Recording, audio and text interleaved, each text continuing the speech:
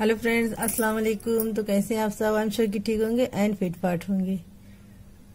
तो आज मैं बनाने वाली हूँ अब बिल्कुल ही बहुत ही पुराने जमाने की रेसिपी जो आज के लोगों के लिए तो नहीं ही होगी मखनी चटनी। अब आप सोचेंगे मखनी क्या होती है? पता नहीं आपने नाम सुना है कि नहीं सुना है।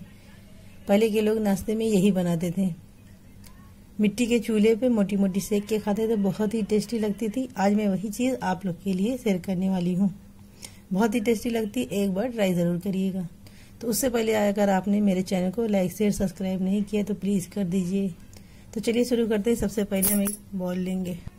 तो देखिए फ्रेंड्स ये मैंने बेसन लिया है, एक प्याली। ये देखिए, ये दो प्याली हो गया, ये भर के दो प्याली हो गया। अब एक प्याली इसमें लेंगे। आटा।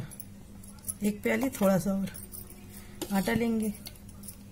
अब इसमें हम डालेंगे एक चम्मच जीरा, आधी चम्मच अजवाइन। ये मैंने लिए थोड़ा सा अदरक, थोड़ा सा लहसुन। इसको हमने थोड़ा सा बारीक बारीक कद्दूकस में चॉप कर लिया है। आप चाहे तो जो है, पीस कर भी डाल दें। आप चाहे तो ना डालें, स्किप कर लें। लेकिन सर्दियों में ये दोनों चीज़ सेहत के लिए बहुत अच्छी होती है। तो डालें ज़रूर। मैंने लिए ये हरी मिर्च। दो हैं। ये लिए एक प्याली हरी धनिया। ये लिए टेस्ट के अकॉर्डिंग नमक।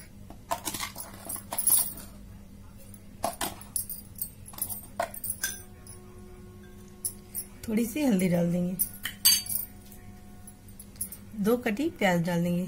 दो प्याज है मैंने, इसको बहुत ही बारीक काट लिए।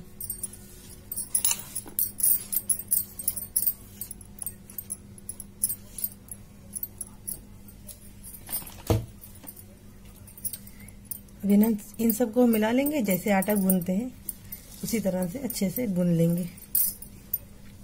पानी डाल के।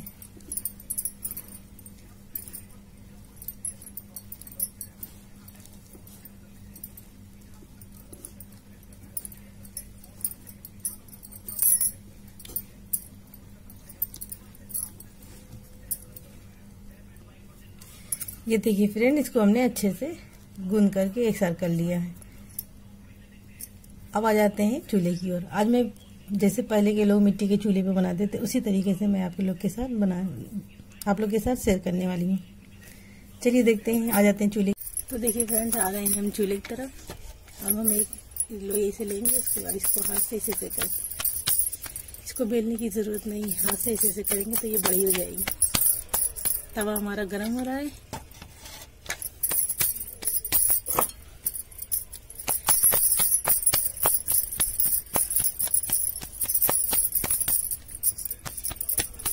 ये देखिए डाल देते हैं।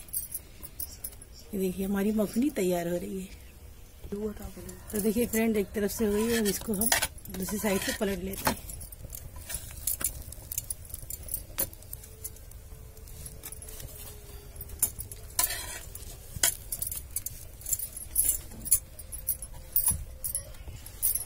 ये एक तरफ़ से पक गई है, अब हम इसमें ऑयल लगा लेते हैं।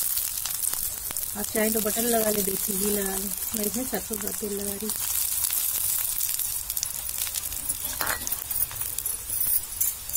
अब इसको करारा सा सेक लेंगे। ये देखिए कितने अच्छे से ये तैयार हो गई बहुत ही सुंदी, बहुत ही टेस्टी लगती है। दोस्तों, एक बार ट्राई ज़रूर करिएगा। देखिए फ्रेंड्स हमारी ये बड़े अच्छे से सीख गई। ये देखिए, सिक्के बिल्कुल सुनहरी हो गई। अब हम दूसरी भी इसी तरह से बना लेते हैं। इसको बेलन से बेलने की ज़रूरत नहीं है, हाथ से ही ऐसी हो जाती है। आपके पास अगर ये तवा, ये चूल्हा नहीं है तो आप गैस पे ही बना सकते हैं। इसको हम हटा लेते हैं। ये देखिए, दूसरे को भी हम इस तरह डाल लेते हैं। आप चाहें तो और बड़ी कर लें। देखिए फ्रेंड एक तरफ़ से ये भी सीख गई है, पलट लेते ये देखिए कितने अच्छे से सुनहरी हो गई ये। भी इसमें भी तेल लगा के इसको अच्छे से सेक लेंगे दोनों साइड।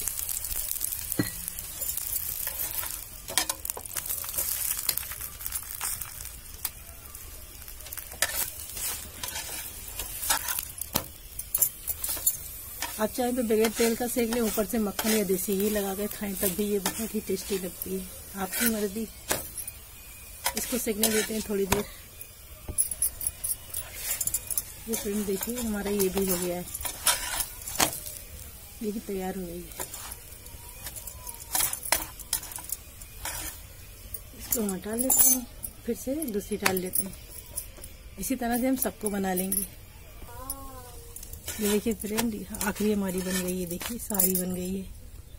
बहुत ही अच्छे से के तैयार हो गई है। अब हम चलिए इनको सर्व कर लेते हैं। ये देखिए फ्रेंड्स हमारी मखनी चटनी रेसिपी बन के तैयार हो गई है।